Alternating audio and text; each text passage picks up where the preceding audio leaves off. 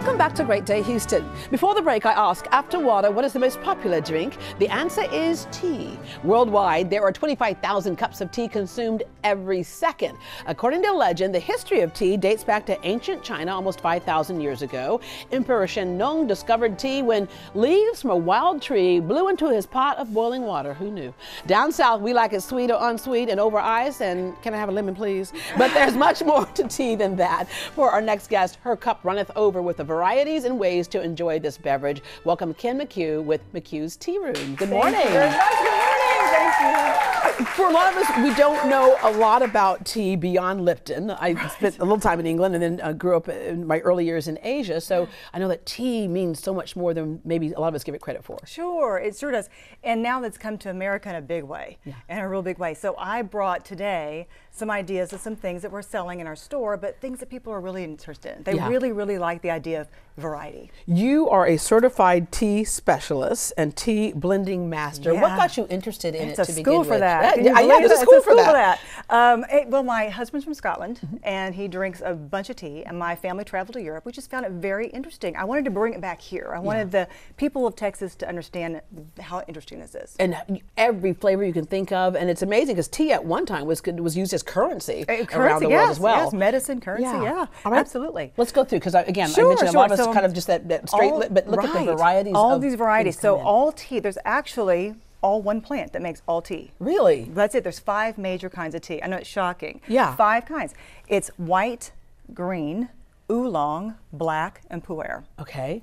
And So how do we are get all those different? If it's one tea leaf, how do we get all those different varieties? I'm so glad you asked. Because on our first one over here, I brought white pina colada. It's like all Oh, the fun what- with none of the guilt. So you know I what's smell that. that? It's a pina colada. Yeah, it smells delicious. It's a full leaf. So think about like healthy oh, skin with Oh, yeah. this one. This is a good. They're studying it for skin. There's real promising results with this. If you want to stick to your 2020 resolutions about looking better and feeling better. Yeah, and that is another point. We know that uh, the pharmaceuticals started out as plant-based Right. items in many cases. So, but tea has medicinal purposes. It does. It. really does, and that one really will help. But it's not oxidized. That's why it looks like it does. It's not crushed. It's a full leaf. Uh-huh. Moving into the green tea, still not oxidized. Green tea, think disease prevention. The spotlight is really, really, really on green tea right Yeah, now. Yeah, in fact, they're looking at the relationship between cancer and green there tea. There it is, right? and they're showing in lab results that the cancer cells are shrinking with green tea. Wow. It doesn't prevent cancer. It's not medicine like Yeah. that, but it does help your body help itself. Yeah, and that's, the, key right there. Is if your body's not in crisis all the time, you have to balance it. And since this is kind of odd, it looks like like pebbles or something, but it's actually 50 times finer than talcum powder. It's called matcha. And it's the all the rage. Matcha is the rage right now. And with that being said, I know that I can go to places and they're like, oh, you can get a matcha so and so matcha. There's a difference between a little matcha powder or a little matcha flavor and the real deal. That's so true. That's so true. And I know another thing too is getting your kids to eat healthy. It's Mm-hmm. a you need a hack for this. So we found one. We found one. We found. Are you game for this? Uh-huh. Uh huh. Okay. You got a spoon. This is matcha yogurt. oh wow. So all we did, uh, we blended the matcha powder. and I know, good. right? It's vanilla. yeah.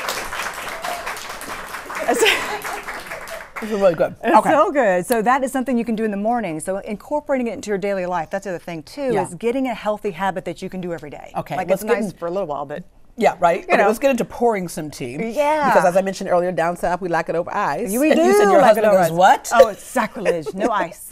So we're gonna do hot. It can be enjoyed hot or cold. We are in the south. We and know. hot is another way of bringing out some of those medicinal Sure, purposes it's that we wonderful. talked And the flavor profile changes. It's delicious. If we move on into oolong tea, oolong is semi-oxidized, which means that the cell wall's broken a little bit, changes the flavor profile. So of course for Texas, we did honeysuckle fig. Yes. because uh, yeah, and it just smells like candy, but it doesn't have any of the calories. Again, no guilt. Yeah. So and it all has the same caffeine content. So you've got to remember that when you're dealing with the kids. Yeah. But for the oolong, moving into that, and oolong is great for keeping it slim. Oh, It's- They're doing studies right now on that. I know, right? We're putting that in your I'll- pocket. I'll take it dry. so give it. They're trying to say that about uh, they're doing studies, 15% increase in your metabolism with matcha with uh, oolong. Yeah, yeah. So and then black tea is fully oxidized. Now this is what we love in the South. We love our black tea. Yeah. So this is it. So what we're going to do and here. steeping. There's some science to how you Yeah, everyone doesn't want right? to do this because they're terrified of how oh it's too hard, it's harder than a bag. It's so simple. So for today, I'll show you how to steep it because we've got your own. Oh, look at this. It says Oh, I love that. You got your very own cup now. and this makes it really easy. Look, It's super, super simple. I wonder if the queen has one like this. I doubt that oh, very no, I- seriously. no, because somebody's steeping it for her. Oh. Okay, yeah. Probably very true. So this is black tea. So we're going to show a little demonstration how simple this is. Two scoops of the perfect cup of tea spoon, and then that water on the top there. We're going to pour that in the top, right Okay. over it. I'll do that. When I'm doing that, tell me how there's different. Like some people have cream with their tea. Yes, And then there's what champagne. That's What's true. going on there? So with I know. So here's the thing: we got herbal tea. Now herbal tea is not really tea. It is Okay. tea because you infuse it, but it's not from the Camellia sinensis plant. All these others are one from one plant. This one, the benefit here: hair, nails, and skin. Good, high in antioxidants, and that blue color comes with it. It's totally natural. Oh wow. Okay. So this, and it's just a little flower. It's from Thailand. So we've got two different ways of showing you the magic of tea. You ready to see magic? Uh-huh. Oh, I Okay. love it. Okay, so first thing we're going to do we only have a few seconds, so let's go. I want to see this. is this. Okay. Oh wow. Oh, that's cool. It literally went from this blue right here To like a to this color pink. right here. All right, and I'm gonna That's taste it. that. oh, is it, is it ready for this? It's all, go for it. Okay, yeah, here it's you all good. That Mm. is all good. Th- Okay. yes. Here, can you pour? pour one You more wanna pour- glass? yeah, that's yes, fine. pour one more glass. Uh, that, that's how we do it in Texas. Okay. this is so cool. I imagine if we go in, we can also find out all about tea. You can answer all of our questions. We can talk about what things we want to address in our body, and you can Tea deal classes. with that too. All right, tea That's it. classes. All right. So tea glasses, tea no, it's tea cups.